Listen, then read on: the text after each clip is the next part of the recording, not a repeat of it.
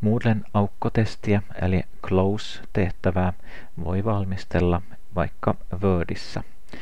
Tässä olen jo hakenut tekstin, jota haluan käyttää ja tähän tulee liittää tämä close-koodi, joka perustuu ää, hakasulkuihin. Hakasuluissa meillä on kaksoispisteiden välissä SA eli short answer.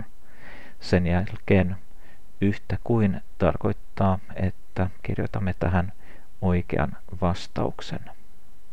Nyt voin kopioida tämän koodipalasen ja liitän sen jokaiseen paikkaan, missä haluan sitä käyttää tai missä haluan aukon tähän tekstiin.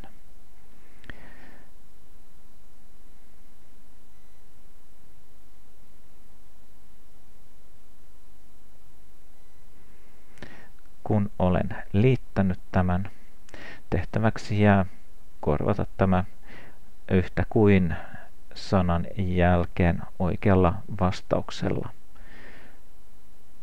Ja poistan tässä ää, tekstistä tämän oikean sanan.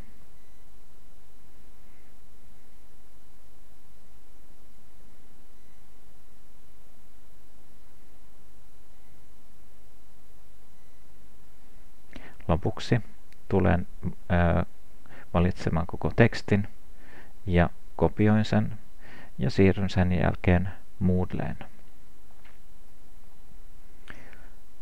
Lisään tehtävän ja valitsen tästä Close tehtävätyypin. Ctrl V liitän tämän kopioidun tekstin.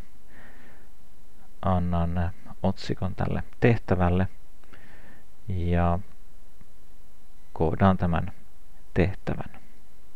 Näen tässä, että aukko-tehtävät ovat toimineet. Tallennan ja voin esikatsella.